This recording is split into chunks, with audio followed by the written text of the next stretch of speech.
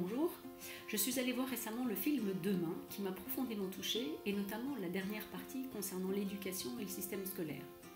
Lorsqu'on voit le système de la Finlande et les résultats qu'ils obtiennent, on se demande ce qu'on attend pour faire la même chose ici. J'ai également lu récemment un article qui m'a fait froid dans le dos, disant que la moitié des enfants étaient stressés et notamment 34% entre 11 ans et moins je me sens de plus en plus sensibilisée lorsque je reçois de nombreux enfants en consultation et qui ressentent tellement de souffrance par rapport à l'école, tellement de stress ou de démotivation. Est-ce que vous trouvez normal que tant d'enfants aillent à l'école avec une boule au ventre? Souvent étiquetés de lents, de maladroits, de pas capables, comment voulez-vous que ces enfants aillent à l'école avec plaisir? Alors oui, on parle beaucoup de réformer le système, de réformer l'école et le système éducatif, mais pour l'instant, rien de très concret n'a été mis en place. Alors à ma petite échelle, comme les réalisateurs de ce film Cyril Dion et Mélanie Laurent, j'aimerais bien proposer des solutions. Si on se mobilise tous les professionnels de la petite enfance à communiquer sur les solutions déjà existantes pour tous ces enfants qui sont en difficulté, nous les ferons progresser au lieu de rester uniquement dans un espèce de constat. Évidemment, je ne suis pas la seule et de nombreux professionnels de la petite enfance se mobilisent déjà et ça c'est génial. Il serait grand temps de dépoussiérer tout ce système qui existe depuis le début du siècle et qui n'est absolument plus adapté aujourd'hui. Alors la question du jour, c'est est-ce qu'il est possible d'apprendre en s'amusant? Eh bien oui, c'est possible d'apprendre en s'amusant. Dernière recherche en neurosciences explique également très bien comment fonctionne le cerveau et de nombreux outils existent pour aider chaque enfant en fonction de son propre style d'apprentissage. Je crois que c'est à ce niveau-là que nous devons travailler et que se situe le changement qui doit s'opérer. Dans un premier temps, il serait intéressant de se demander d'où vient le désintérêt de votre enfant pour l'école et de se poser la question suivante. Pourquoi mon enfant n'aime pas l'école? Pourquoi est-ce qu'il est démotivé? Pourquoi il n'arrive pas à se concentrer ou à mémoriser ses leçons. Il peut y avoir différents facteurs. Il peut tout d'abord y avoir des facteurs externes à son désintérêt pour l'école. Un système éducatif qui est trop difficile, trop compétitif. C'est vrai que le système français privilégie les intelligences de type langagière, c'est-à-dire les enfants qui sont bons en français, ou plus matheux, ce qu'on appelle les intelligences logico-mathématiques, au détriment d'autres intelligences que l'on verra plus tard. Ils peuvent également avoir un rapport aux autres difficiles, peuvent être harcelés par des amis ou rabaissés par des professeurs qui ne voient pas leurs difficultés. Mais il peut y avoir d'autres raisons, des facteurs internes qui sont directement liés à votre enfant. Par exemple, si votre enfant a été détecté ou vous soupçonnez qu'il a un fonctionnement et une façon de raisonner qui est différente. On va parler d'enfants HP ou encore au potentiel, surdoués, des enfants zèbres, c'est-à-dire des enfants qui euh, ont une façon de fonctionner et de raisonner qui est différente de celle des autres enfants et ils vont comprendre et apprendre beaucoup plus rapidement, d'où une démotivation assez rapide à l'école. Il y a aussi possibilité que votre enfant soit dyslexique, dyscalculique, dysorthographique, dyspraxique, voilà, toute cette famille de 10 qui euh, est nécessaire d'être détectée assez tôt parce que voilà, ces enfants vont vite avoir des troubles d'apprentissage.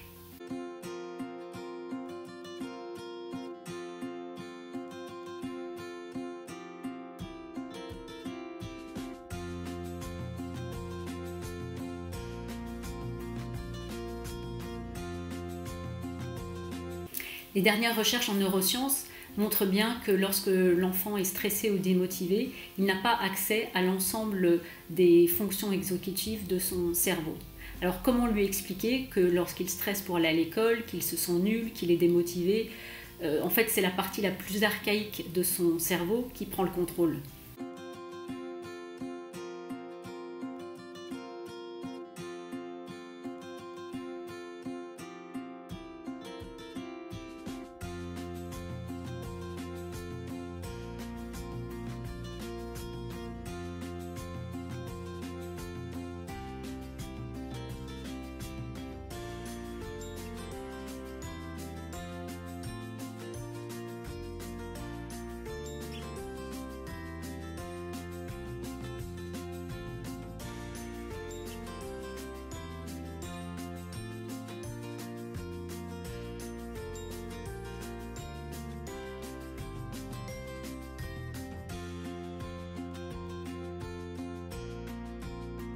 Voilà, en expliquant tout ça à l'enfant, on va lui permettre de prendre conscience de ce qui se passe en lui, de lui apprendre à se connaître, de prendre conscience de ses émotions et devenir acteur de son apprentissage. Est-ce que vous savez aussi qu'une remarque négative a malheureusement beaucoup plus d'impact que 10 remarques positives parce que l'être humain est programmé pour repérer les situations qui pourraient mettre en péril la survie de l'espèce.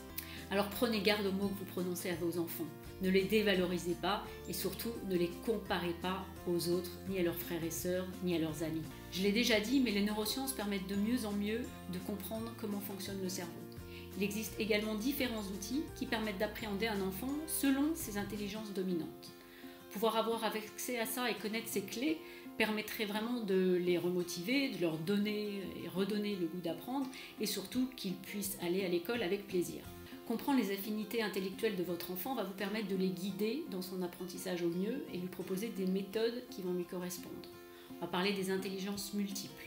Alors c'est vrai que l'école privilégie les intelligences logico-mathématiques, les intelligences langagières, c'est-à-dire les enfants qui sont bons en français, qui n'auront pas de problème, ou qui sont bons en maths, mais il existe quand même six autres intelligences qui ne sont pas mises en avant par le système scolaire. On va parler des intelligences naturalistes, on a des enfants qui adorent euh, la nature, des intelligences kinesthésiques, des enfants qui ont besoin de bouger ou de faire des expériences pour comprendre, des intelligences musicales, c'est-à-dire qui ont une très bonne euh, sensibilité auditive, donc vous pouvez leur faire apprendre euh, leurs leçons à travers la musique. il existe aussi les intelligences intrapersonnelles, là ce sont des enfants qui ont besoin d'être seul pour apprendre ou au contraire interpersonnel, de travailler en groupe. Si vous voulez en savoir plus sur les intelligences multiples, il y a de nombreux livres à ce sujet-là.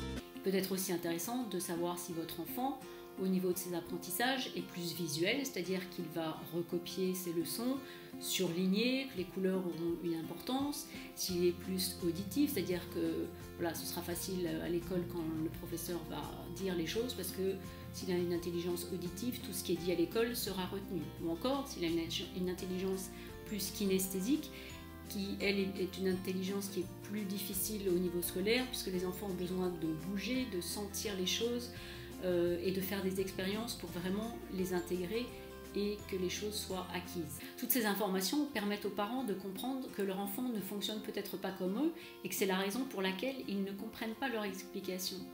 Vos enfants ont des mécanismes d'apprentissage qui sont différents.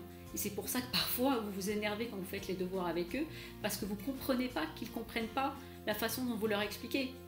Et c'est bien normal puisqu'ils ne fonctionnent pas comme vous. Alors maintenant, je vous propose qu'on explore ensemble quelles sont les méthodes pédagogiques innovantes. Je vais tout d'abord parler de la Brain Gym. C'est un ensemble de mouvements corporels qui vont améliorer les capacités d'apprentissage, aussi bien au niveau de la concentration, de la mémorisation, mais aussi de l'organisation, de la communication et de la confiance en soi des enfants.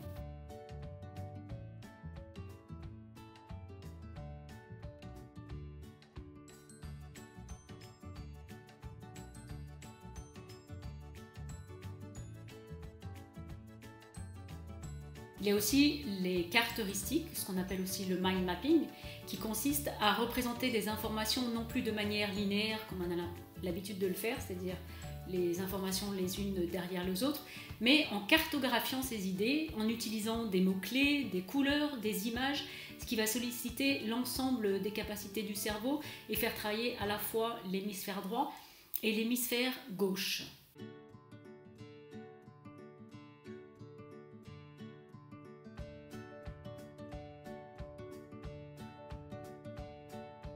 Enfin, une dernière méthode, et non des moindres, dans un système qui privilégie plutôt le négatif que le positif, c'est la psychologie positive. Donc, c'est-à-dire euh, permettre de voir une faute comme une expérience et non plus comme un échec, d'encourager un enfant plutôt que de le dévaloriser, de souligner ce qu'il fait de bien, ses qualités, d'exprimer sa gratitude, même à la maison, quand euh, lui dire merci, quand il euh, met une assiette dans la machine à laver la vaisselle, quand il met ses affaires dans le linchal, pour la moindre petite chose, on pense souvent à leur faire des reproches, mais rarement à leur dire merci. C'est également repérer ses pensées négatives pour l'aider à s'en débarrasser. Si par exemple votre enfant vous dit j'y arriverai pas ou je suis nul, bah, ça peut être de, discuter avec lui, lui dire et comment est-ce que tu pourrais t'améliorer? Donc si l'on parvient assez tôt à détecter les troubles d'apprentissage chez certains enfants, si on détecte les forces chez les autres, si on les encourage, si on les fait bouger, on les stimule et on les rend acteurs de leur propre apprentissage, alors ils retrouveront la motivation. Voilà, je suis convaincue aujourd'hui que si on fait connaître ces méthodes, que les professeurs dans des villages, dans les quartiers, dans les villes peuvent utiliser ces méthodes, le mind mapping, la brain gym, les intelligences multiples, mais aussi la pleine conscience. Ils pourraient sensibiliser les enfants à leurs émotions et à leurs ressentis, et donc les enfants pourraient retrouver le plaisir d'apprendre et apprendre en s'amusant. Si les professeurs utilisent la pédagogie positive, qui focalise sur les réussites et non sur les échecs, voient leurs élèves comme des individus uniques qui ont chacun leur façon d'apprendre et plus comme un groupe de 30 élèves qui apprennent tous de la même façon, peut-être que d'ici 10, 15 ou 20 ans, les enfants auront autant de plaisir que les petits écoliers finlandais à aller à l'école et apprendront les mathématiques avec plaisir, liront bien, seront bons également en sciences. Enfin, pour conclure, je dirais que le secret, c'est d'apprendre aux enfants à apprendre, les préparer à la vie. Si une méthode ne fonctionne pas avec un élève, c'est que la méthode ne lui est pas adaptée. Enfin, comme le disait Benjamin Franklin,